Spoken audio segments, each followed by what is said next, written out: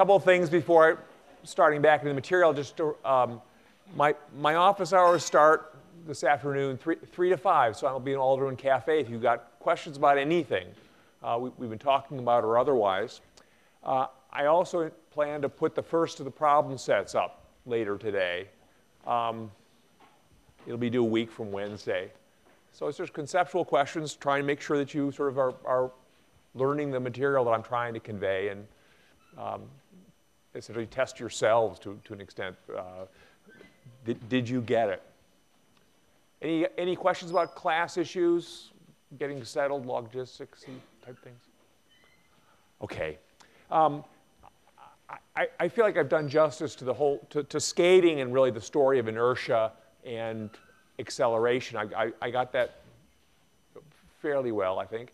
Um, last tidbits I wanted to, to, do, I could summarize it all, but I'll just, I'll, last tidbits I want to do with, with skating were just to, to point out that I, have tried to introduce five physical quantities, uh, things that, that you can, in principle, you can measure, spe specify about, about a situation, for example, skating. Uh, there, three of them involved, well, were related to position. Position's where you are, of course, and I told you it's a vector quantity. It also has a reference point. You have to, you, you have to say basically, starting with the reference, how do you get to where the, to the position you have in mind? Uh, velocity was just the, the, the, rate at which position is changing with time, pretty straightforward to see. Acceleration is the rate at which velocity is changing with time, and that's tougher to see because you actually have to watch the movement and see if the movement is changing. Any questions about position, velocity, acceleration? Um, the other two quantities were force and mass. Forces cause acceleration their purpose, you know, a purpose in, for, the, for, their existence is, is causing accelerations. Uh, the, the, simple name is push or pull. The units, I, so it's part of my reason to have the slide up here is to, is to point out the units in the, in the SI or metric system. In the US, probably be, be 30 generations before we eventually drift to the metric system. It's unbelievably hard to, to, to do it. Um, so position is measured in meters. I, will flip back and forth because meters are unfamiliar to many of you. And you, so you'll go, what's a meter? Uh, so, you know, that's a foot, and that's about a meter. All right? Uh, position's measured in meters because it's a distance from a, a reference point along with the direction. Velocity is in, measured in meters per second because it's the rate at which a position is changing with time. So it's, it's got a distance divided by a time aspect to it. That's the meters per second. Acceleration has the strange unit of meter per second per second because it's the change per second of a velocity, which itself is meters per second. So it's meters per second per second or just meters squared. Meters per second squared. All right? Do you need to know how to deal with units? Rarely. But just I, I, I ought to pass them by you at least once. So okay with the, the, the position, velocity, acceleration units, more or less? Or questions about that? Um, the unit of force. You're all used to unit of force being pounds. Um, you, you, if, if, somebody pushed on you with a force of a pound, you probably have a, a, a sense of what that's like. Because if you hold a pound of sugar in your hand, you're pushing up on it with a force that's a pound. So it's pushing down on you with a force that's a pound also. The, the SI unit or metric unit of, of force is a Newton, named after Sir Isaac. And a Newton is about the weight of a small apple. So if you imagine holding a small apple, yeah, I know it was my little jokey thing here, right? Uh, if you small, hold a small apple in your hand and you feel that push, that's, that's about a Newton of force. And the last unit of, of that I the last physical quantity I talked about, the unit of it is the unit of mass, and that's the kilogram, which also you ought to have some experience with at this point. A liter of water has about the mass of one kilogram, meaning that if you try to shake it, it's got that resistance to acceleration corresponding to one kilogram of mass. And if you want to think, you know, where did the force, the, the unit of force come from? Where did the Newton come from? It's actually a composite unit. It is not a fundamental unit the way uh, meter is defined uh, it, it, used to be defined according to a, an artifact. It, there was a one meter stick around. Uh, it's now defined as related to, to light and how many wavelength, a very specific light and a, and a, very specific number of wavelengths of that light. So it's, it's, it's defined uh, at sort of a fundamental level. Um, kilogram, uh, they're working on defining that at a fundamental level. It is an artifact at present in France. There is the, the kilogram and the kilogram siblings. Um, but having chosen the meter, chosen the kilogram, actually this, the second is also defined in a fundamental way. Um, and this is way beyond what you need to know, uh, that those, th those three units are, are fundamental ones. Um, and from that, the Newton is, is handed to us by Newton's second law. If, if you exert a force that we will call a Newton on an object that has a, a, ma a mass of one kilogram, it will accelerate at one meter per second squared. That defines how hard you have to push. And that therefore defines the Newton. Hopefully that made some sense. Any questions about that? Do I care if, you, if it's stuck? No, I'll never test you on it, but I told you. you. I told you once, and there it is. Okay, so anyway, there, there are five, the five uh, fundamental, uh, five physical quantities I wanted to introduce initially, and a little bit about their units. Why do we need units? Is because if you're going to if you're to say that I'm, I'm a certain distance from reference point zero here, uh, you, so you're trying to pin down my position, you can't just say 17 you know, 17 watts. He's 17 away from it. Ah, well, 17 of, you know, I'm trying to think of some jokey name for, for this unit. Unit this long, which has a name, I don't know, Freds. These are Freds. I'm 17 Freds away from that. Um, if we all agree on what a Fred is, it's that, it's that much, we're good. But who, who knows what, you know, it's, it's not going to get outside this room, mostly. So let's stick with units that everyone has, has agreed on. That's a foot. We all agree on that. How many of them I weigh? About eight of those things. So that's the, purpose of fundamental units. A pur purpose of units is to allow us to, to exchange information and, and talk about physical quantities uh, and understand what, how much each, your, how much you have in mind and uh, have in mind myself. All right. Any questions about units, things you wonder about units? I'll stop my meander here. Okay, so I'm, I feel like I'm done enough about skating and will lost one of my video screens up here, so I'm, on a, I'm working on a one-screen computer, which is fine. Falling balls. So the story of skating was, was by and large the story of coasting in the absence of forces. Uh, I brought up forces in order to allow the skater to start, stop, and turn, but it didn't specify what the forces were. Just that, you know, if you push on a skater, the skater will accelerate. Or, um, assuming no one else pushed back, if, if the only force acting on the skater was my push, the skater's going to accelerate. Might slow down, might speed up, might turn. Now, in falling balls, I'll, I'll bring in the first force. Uh, the force I have in mind is the force associated with gravity. And it turns out that every object here near the surface of the Earth develops a force due to gravity that we call that object's weight. So that's what weight means. Your weight is the force that the Earth's gravity exerts on you. It happens to be straight down toward the center of the Earth, and it's a certain amount. Uh, as we'll see shortly, it, it has the remarkable feature that it is exactly proportional to your mass. So if two of you differ in mass by a factor of two, strangely enough, you differ in weight by a factor of two. And you might think mass and weight are the same thing. They're not. Mass is the resistance to acceleration, how hard it is to shake something, to make it go toward you, away, toward you, away from, toward, you, away from. Right? That's, that's mass. Weight is how hard gravity pulls down on something. It's another different quantity. So that's, that's where we're headed. Uh, talking about weight and trying to distinguish it from mass and find what weight's influence is like on things. All right, so first question I have just to sort of start things off is suppose I throw a ball upward into the air and the story doesn't start until the ball leaves my hand. So if I throw the ball up up into the air, and not yet, not yet. Now, while it's still going upward, the question is is there any force pushing the ball upward? We're, we're neglecting anything through the air. You okay with the question? How many think that yes, there is a force pushing upward on the ball? How many think no, there's no force pushing upward on the ball? Ooh, we're getting a, a vast majority are going for no force pushing upward on the ball. Well, then why does the ball keep going upward?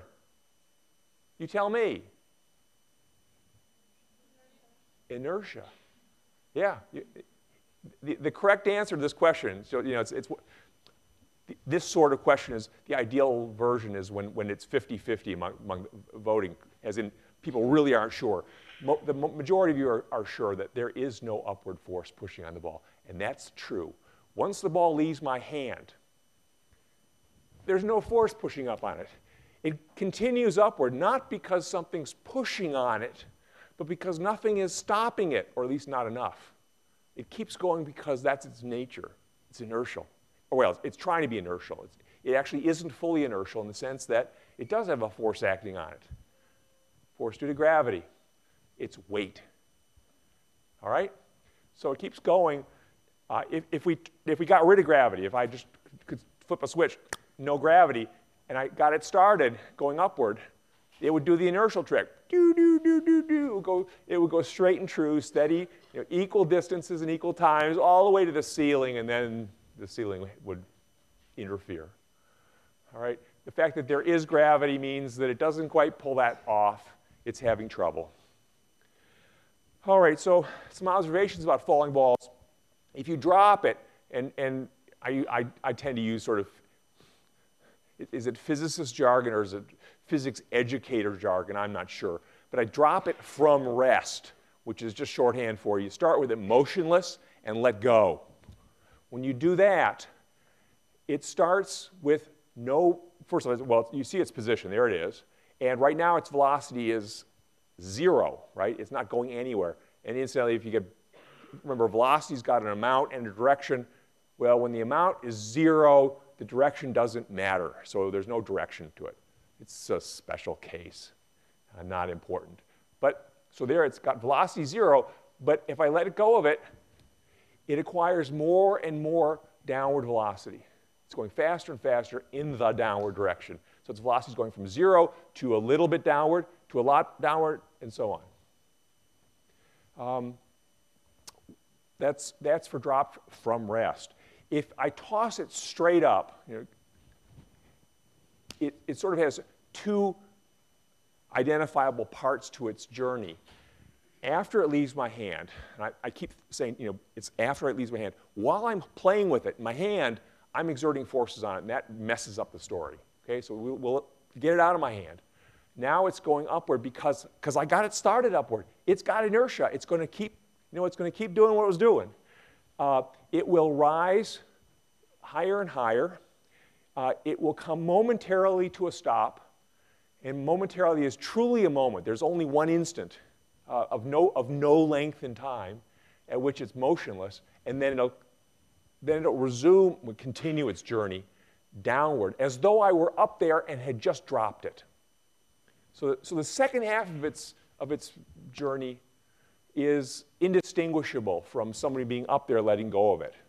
You can make, you know, if you're making a budget movie and you already filmed somebody dropping it from up there, you can just use that footage. Okay? Uh, anything else. That's, that's what you observe.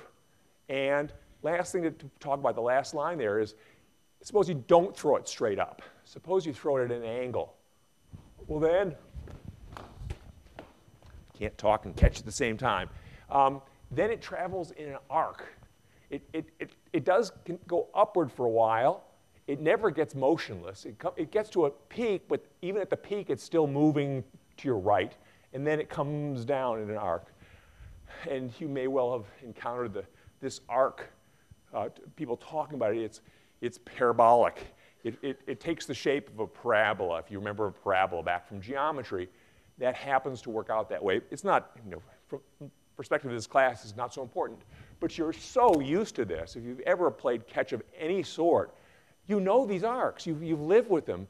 You know where to stand for the thing to come to.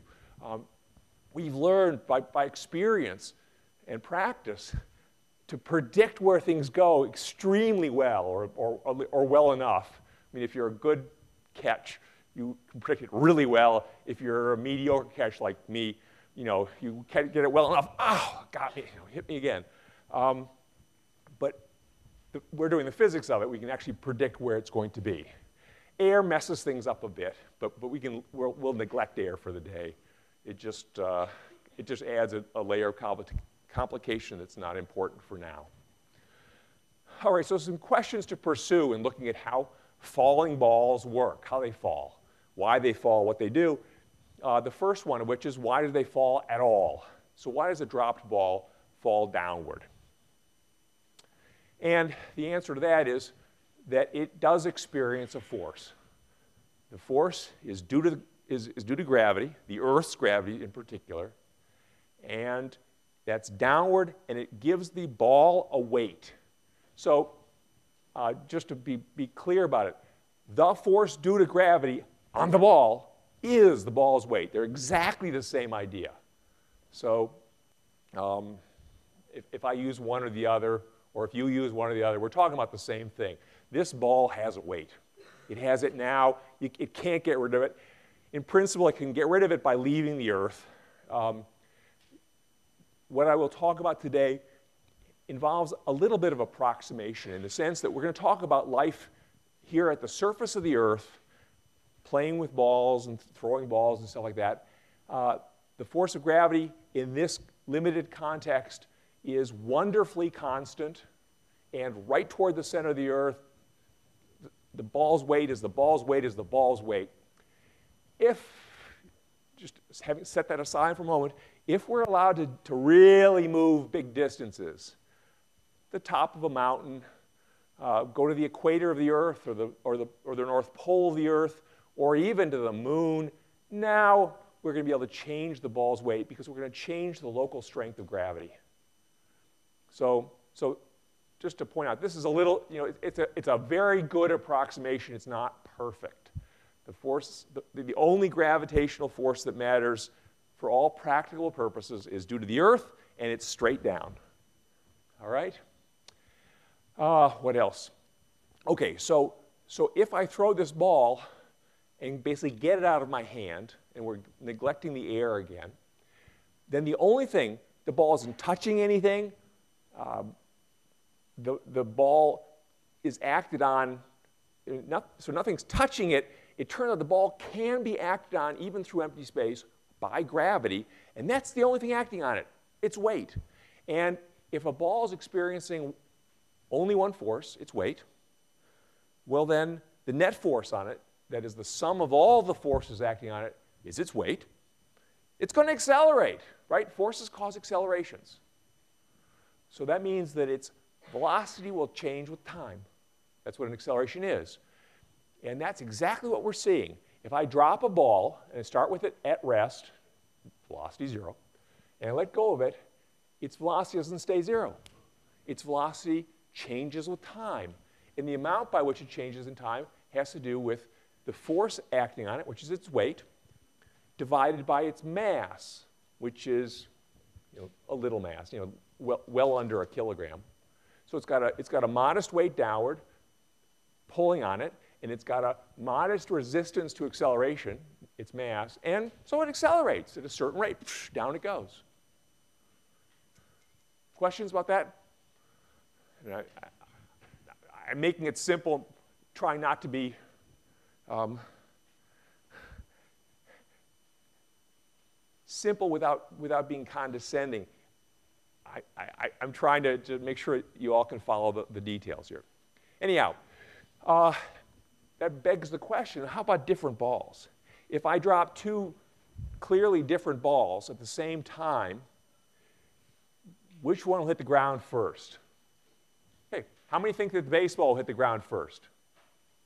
How many think the basketball will hit the ground first? How many think they'll hit at the same moment? Ooh, you're good. Ready? Get set. Same moment. Well, that's odd because this one, I mean, I'm actually not going to do the experiment. You know why, okay? It happens by accident every year or two or three where this, this guy rolls off the table. It's never fun. All right, so if I drop these guys together, they'll hit the ground together. And so this, the, the reason for, for what I just did is I want, a, I want a very dramatic difference between the two balls' mass. Ooh, and between the two balls' weight and their mass and their weight. Oh, they're different in two ways. That's interesting, okay? now, now I'm being goofy. Okay, I'll stop. Um, you're allowed to laugh with me or at me. It's okay as long as it's uh, for pedagogical reasons. So this ball has a small weight compared to, to this ball. So if, if the only difference between these two balls was their weight, of course, the, the red bowling ball pulled down much harder, would accelerate much faster, would pick up speed and get to the floor way ahead of the baseball. So if weight were the only difference between these two, uh, these two balls, the bowling ball would get there first. All right? Well, how about mass? This baseball, because it has a, it's got a tiny mass, if the only difference between these two balls were their masses, this guy accelerates so easily. The baseball would clearly accelerate faster, get to the floor first. Well, what if they differ in both weight and mass? Which, of course, they do. Then, although the baseball is pulled down gently, and that would let it, dra- it would dawdle, it has a small mass, so it doesn't dawdle. It responds easily to a small force. The two of them go down together. They both experience exactly the same acceleration, despite their differences in mass and their differences in weight. If, so, so now I'll ask for, for real if you've got questions about that. I hope I've gotten that across cleanly. Any questions? The idea that they differ in two physical quantities that are different weight and mass. Okay? Well, because they differ in two different uh, quantities like that, the, the, uh, the, observation we're having is that uh, the bowling ball has a larger mass and a larger weight. And in order for it to accelerate exactly together with the baseball, which it does, there has to be a very steady uh, relationship between the weight of a ball and the mass of the ball. And that's what I've drawn up here on this, this relationship here. If you take any of the balls that are up here you, and you weigh them, and you take the same ball and you measure its mass, which you do not by putting it on a scale, but by shaking it conceptually. It's hard to measure mass actually directly because you really want to watch how it accelerates, which is hard to measure. But you can do it. Uh, if you take the ball's weight and the ball's mass and divide them, you keep getting the same um, value. It, the value is not here, here on the surface of the Earth specifically, it's about 9.8 newtons of force for every kilogram of mass. So this guy's got a little, a little weight, a little mass. You make the division, 9.8 newtons of, of weight per, per kilogram of, of mass. You do it for the, big, for the big bowling ball, same thing, same factor every time. Uh, this, this observation that, that every kilogram of mass here on this Earth's surface always develops 9.8 newtons of, of weight uh, is a, it's, it's a remarkable thing. It didn't have to be that way. I mean, you, one could imagine a universe in which it isn't. The fact that it is true in our universe uh, led to many interesting thoughts, which eventually drifted into Einstein's head as, as his theory of general relativity, the, the, this, the, the observation that, uh, that gravity warps space and so on, which is way beyond what we'll ever do. But um, it didn't have to be this way. So it, but it is, okay? So, so every kilogram of mass here at the Earth's surface develops one, 9.8 newtons of weight. And as a result, choose any ball you like, it's going to develop just the right amount of weight to make it accelerate downward like every other ball, or people, or whatever. You know, jump off a diving board, you do the same thing. Um, for the online version of the class that I did a long ago, I was throwing all kinds of stuff out the window of the third floor of this building, bowling balls included. And at one point then I, you know, I, you know, I, I wanted to throw the viewers off together so, so they would also go. So I threw a camera over. So the camera watches the balls, everything falls together.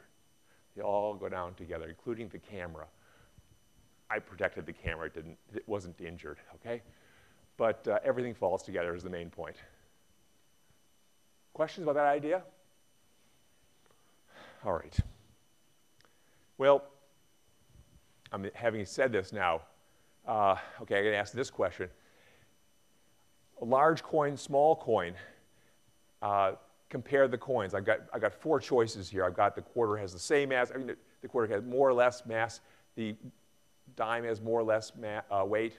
Um, how many think that A, the quarter has the same mass and the same weight as a dime?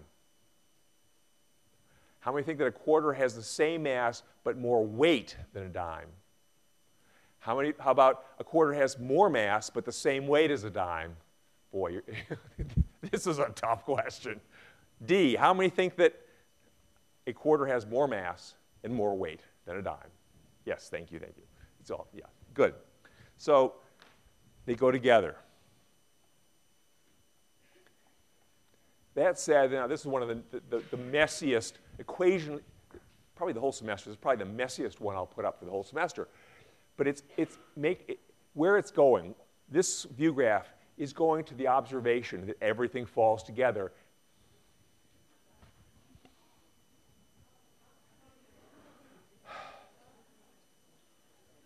Acknowledge. Can I acknowledge it? Acknowledge. There. All right.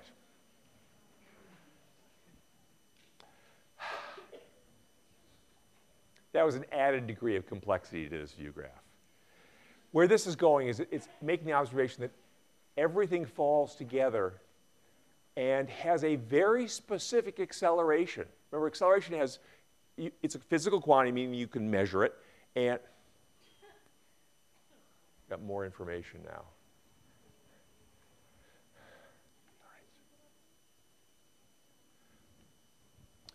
Um, so you can measure acceleration. It has units meters per second squared in the SI system. It turns out everything here near the Earth's surface, if you drop it, it accelerates downward at a, at a specific acceleration, 9.8 meters per second squared. In, in, in uh, English system, it's, it's uh, 32 feet per second squared. So that's a specific acceleration. Um, just to, push, to, to, give you an idea of what it is, you've seen it happen all your life and drop, seeing things fall. But let me do let, let me try one, one meter per second squared. Can I even do this? One meter per second squared is probably about like that. All right? I'm trying to sort of measure off meters and, and, and hit them at the right moments. So it's pretty fast acceleration. You know, you know this, you've watched things fall, you know that there's not a lot of time between the vase going off the balcony and you're needing to catch it before it smashes. It's just not going to take much time. But it's a specific amount. And it turns out everything falls at that same specific amount. Where did the 9.8 meters per second come from? Uh, it came from the following. First off, we, the first equation up there is, is, is simply Newton's second law, the observation that forces cause accelerations. And if you take a certain force acting on an object with a certain mass, it's going to be a ball in this case, so the pick the force on the ball divided by the mass of the ball, that gives you the acceleration of the ball. It predicts the, the, the acceleration of the ball. The force is the cause, the acceleration is the, the, uh, the consequence. Okay, well, suppose instead of picking an arbitrary force, so it's not the force that I exert on the ball, it's the force that gravity exerts on the ball, well, that's the ball's weight. And we know what the ball's weight is because every kilogram of here on the surface of the Earth develops one, uh, 9.8 newtons of weight. So the ball's weight is just 9.8 newtons for every kilogram the ball has. And if we put that in, we get the acceleration of a falling ball is simply the weight of the ball divided by the mass of the ball. And we know that, that, that uh, division, weight of the ball divided by the mass of the ball, that's, that's the division we get whenever we take any object and measure its weight and divide it by that object's mass. We always get 9.8 newtons per kilogram. There's, every kilogram develops 9.8 newtons of weight. That's just that same relationship again. So the acceleration of a falling ball hopefully I've said this in a way that's followable, lose my own train of thought in my own head. Um, the acceleration of a falling ball is 9.8 newtons per kilogram. It's just that same relationship. The weight of an object divided by the mass of the object. Well, that seems a weird, weird units. Acceleration of a falling ball is 9.8 newtons per kilogram. What's, what's that? That's not an acceleration, is it? Well, it is. If you remember, I, I started off today pointing out that the Newton, which is the unit of force, is a composite unit.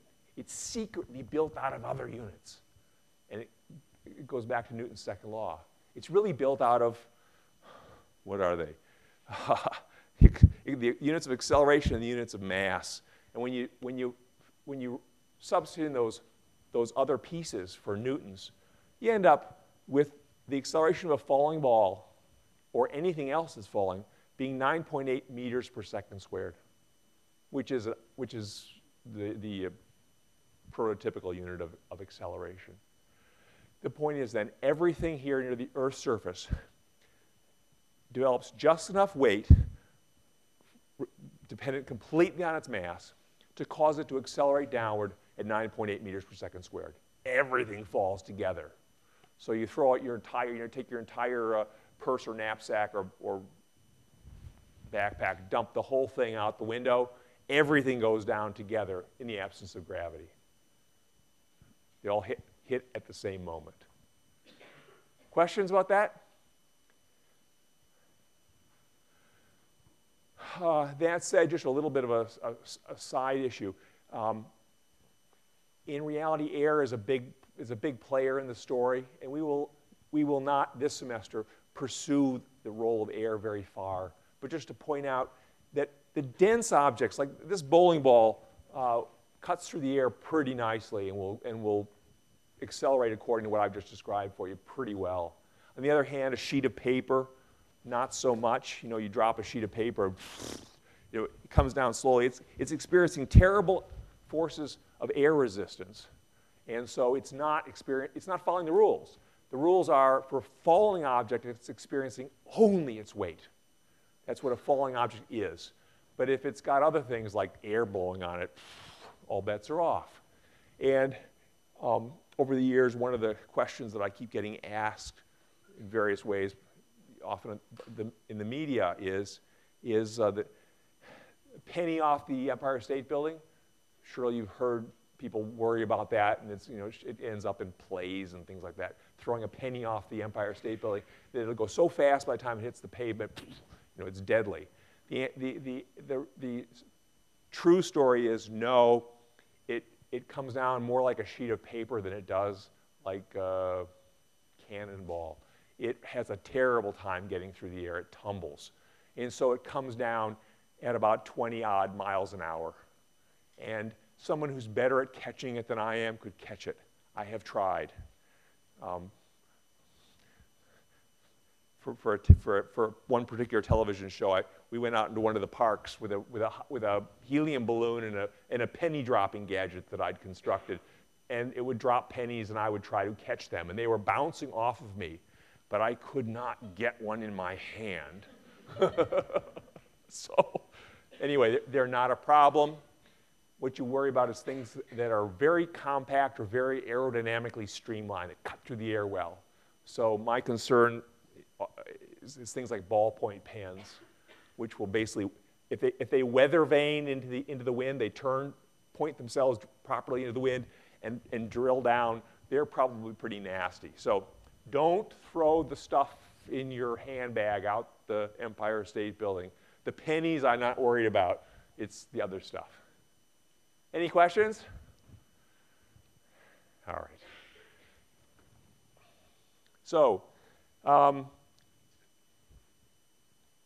this is just asking you you know the answer to this. Throw, you throw a whole handful of coins out. They're all going to hit the ground at the same moment. If they, follow, if they, if they follow the same path, I've, I've now edited my bag of coins out of my collection here. But if you throw a handful of coins, they all travel together, they all hit together, same instant. Despite their differences in mass, they have the same differences in weight to correspond for it, they just travel together. Okay. Um, how would a ball fall on the moon? And the answer is it would fall more slowly. And assuming that you're not uh, among the, those who thought that the Apollo missions were staged, we, we saw all this, or I saw all this, it's a little before your time, but, but, the, but the video of, of the astronauts on the moon is exactly uh, follows the, the, the, the expectations. The moon, because it has much less mass than the Earth, produces a much weaker gravity. It's also physically smaller than the Earth, and therefore you are closer as an astronaut on the surface of the moon. You're closer to its center, which has the effect of increasing gravity, but, but the two effects don't cancel.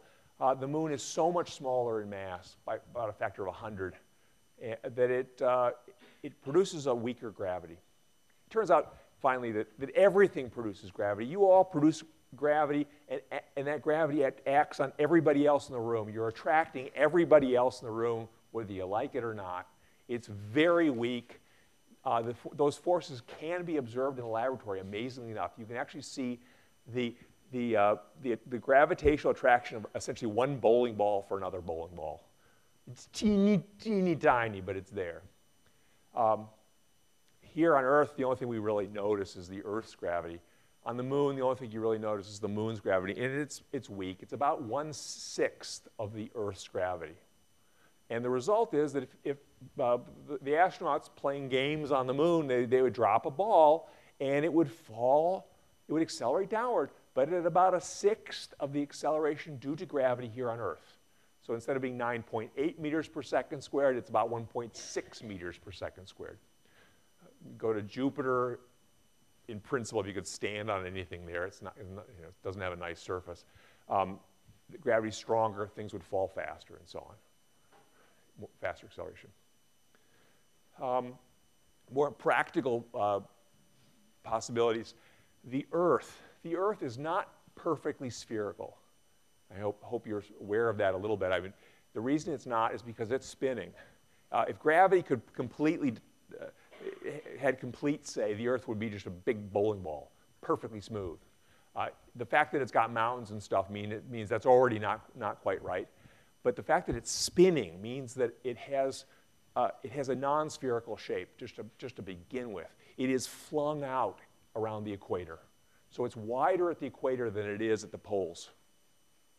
It's, what is it shaped like? It, I, this is oblate or something, a word that barely means anything to me, let alone to you. Um, the result of that is when you are at the equator, you are farther from the Earth's center than if you were at the poles and that actually has an effect on your weight. You weigh more at the poles, where you're closer to the center than you do at the equator, and the difference is about a half a percent. It's not zero. You know, it's not tiny. It's, it's enough that you could weigh it. So if you, if you want to lose weight effortlessly, go to the, go to the equator. yeah, it's real. I, hey, lost weight, man. it's, uh, you know, it, it's, it, it wasn't what they had in mind you, you can, if you want to really lose weight, fine. Just, just go out into deep space. You're now down to zero. Wow, what a great diet plan. Um, the point is that, that, that weight is a, uh, depends on location. And if you, go, if you go into the Blue Ridge, your weight will decrease by a small amount, probably not easily measured.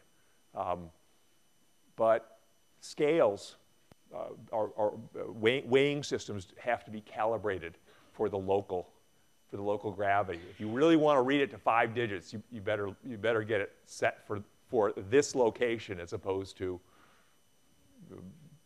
Santa's workshop. Uh, all right, yeah, I could probably, there's got to be some joke about uh, the gifts coming from Santa's workshop being they're underweight when they arrive here at Charlottesville. Yeah, you know, it was supposed to be a pound of chocolate, but now it's only uh, It's down to 0.9997, throw you in jail. All right. Some days, even it's Monday, it's already, it's already the end of the week. Um, so a little, little bit of specificity here. What happens when you drop a ball and let it fall? And do, do I care that you know all the numbers?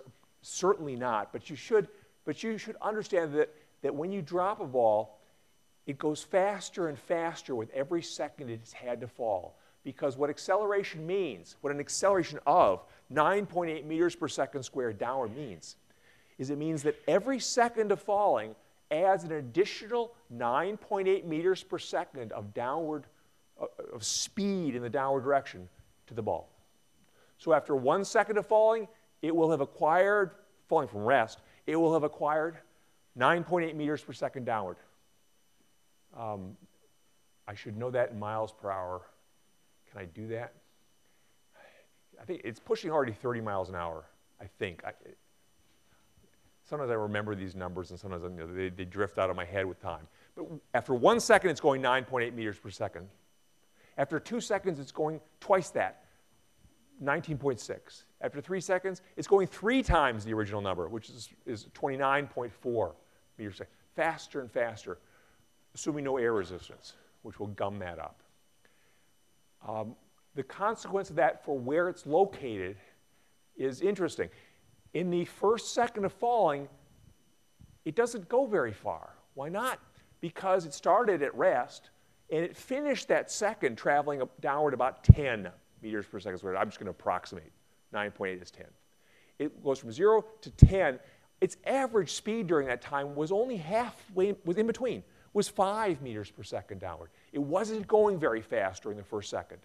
So if it was going on average 5 meters per second, that's 5 of these per second, that's all it traveled in one second. 5, 5 meters, not very far.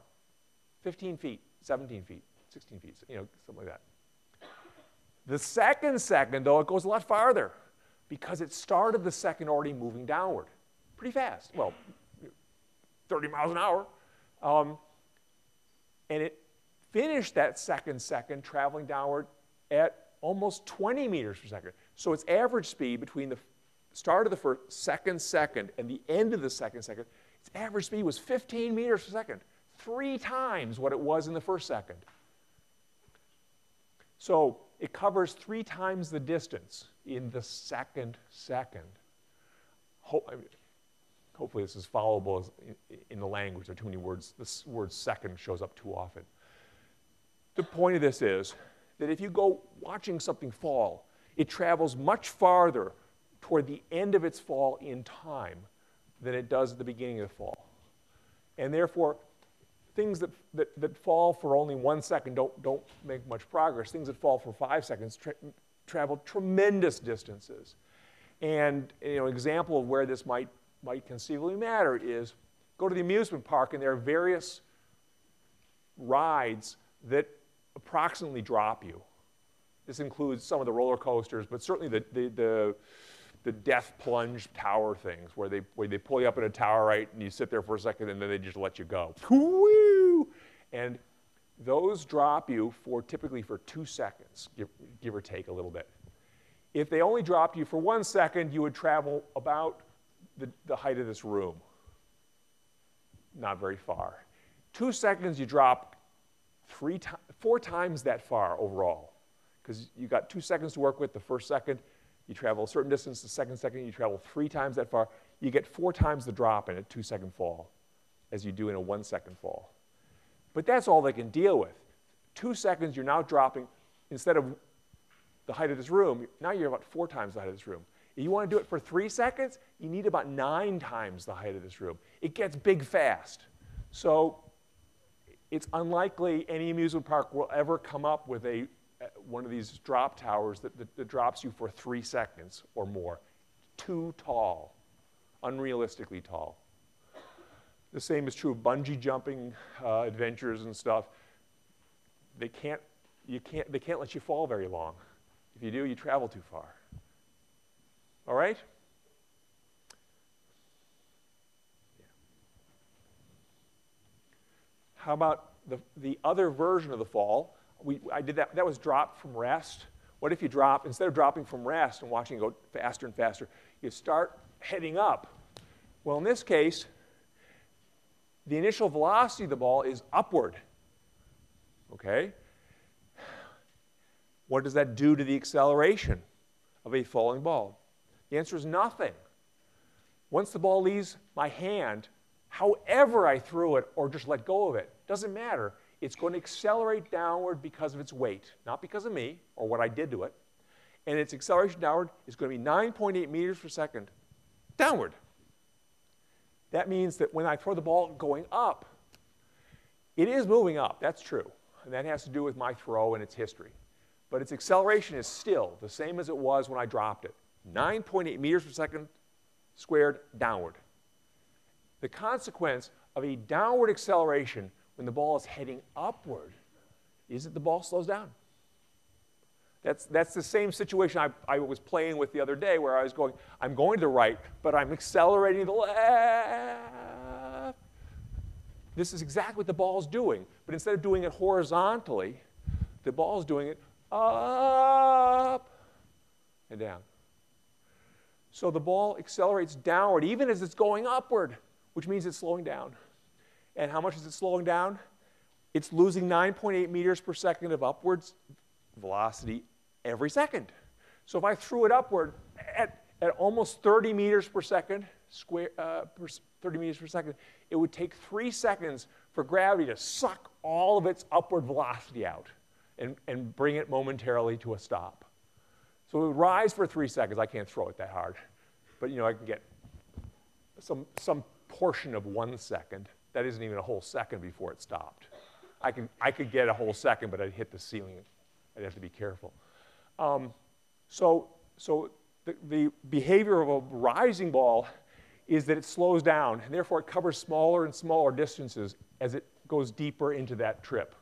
It travels, it covers the, the largest rise during the first second, smaller during the second second, and so on. It does come momentarily to a stop. And that momentarily to a stop can be puzzling because you might think, well, okay, it's momentarily motionless, and maybe at that moment, for some reason, its acceleration disappears. And the reality is, no, it's still, even at the very top of the motion, it's still accelerating downward up there. It, acceleration is caused by a force, the weight of the ball, and that hasn't gone away. So even as the ball is rising to its peak, it's still accelerating downward. It gets to its peak, it's still accelerating downward. It begins to descend, it's accelerating downward the whole way.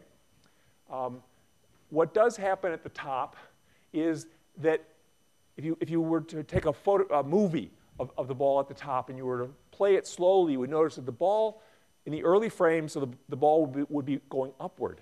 So it's going upward less and less between each frame. It's still moving upward, still moving upward, because it's, but it's less and less because it's accelerating downward. It's losing that upward velocity. There will be one frame in which, wow, it, it reached its peak. And then the next frames, it will be starting to come down. And you'd watch that the velocity went smoothly from upward, smaller and smaller and smaller and smaller, to downward faster and faster and faster and faster. Go smoothly through that zero. And the acceleration is the same the whole way through. It's always losing upward speed or gaining downward speed. All right, uh, call that a day. The last thing I want to, I'll talk about next time is, the, is, the, is these arcs. And then we'll move on to ramps.